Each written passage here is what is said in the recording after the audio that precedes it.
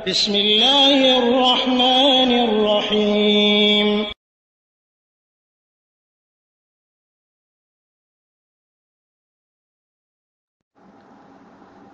ওয়ালাইকুম আসসালাম রহমতুল্লাহ বরকাত আমাদের রোনা কেয়া নামনি বোন প্রশ্ন করেছেন অজু করার সময় যদি কোনো অঙ্গ ধুতে ভুলে যায় যদি তা শেষ হওয়ার আগে মনে পড়ে তাহলে কি করণীয় তাহলে করণীয় হলো এই যে ওই অঙ্গটি থেকে শুরু করবে এবং আবার বাকি অঙ্গগুলি ধৌত করবে। উদাহরণস্বরূপ যদি কাউরি ডান হাত ধৌত করা ভুলে যে, ভুলে ভুল পড়ে যায়, ভুল ক্রমে বাদ পড়ে যায় এবং বাকি অঙ্গ প্রত্যঙ্গ ধুয়ে ফেলেছে, তাহলে মনে হওয়ার সাথে সাথে ওই ডান হাত থেকে আবার শুরু করবে এবং আবার বাম হাত, এরপর ডান পা, বাম পা, এভাবে ধৌত করবে।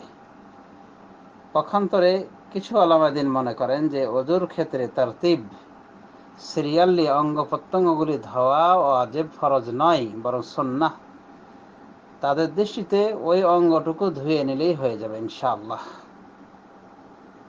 আল্লাহ মানাসরুদ্দিন আল বানী রহমতুল্লাহ আলাইহে তিনি মনে করেন যে অজুর ভিতরে এভাবে তার তীব ঠিক রেখে অজু করা এটা সন্ন্যাহ এটা ওয়াজেব ফরজ বিষয় নয়।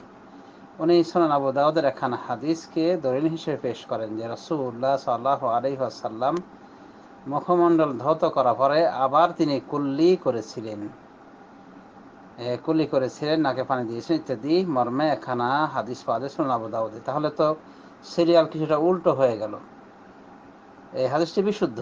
এই হাদিসের আলোকে উনি মনে করেন যে অজুর তার তিবটা সিরিয়ালটা ঠিক রাখাটা সন্ন্যাহ বটে, কিন্তু এটা ফরজ নয়। সুতরাং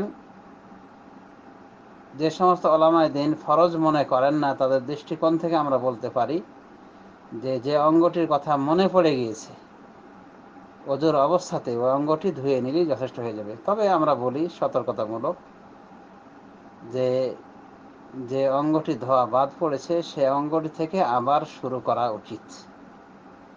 এটাই হলো নিরাপদ। একতলাপ থেকে বেঁচে যাওয়ার একটি পথ এবং পদ্ধতি। আশা করি বিষয়টি বুঝতে পেরেছেন। ধন্যবাদ।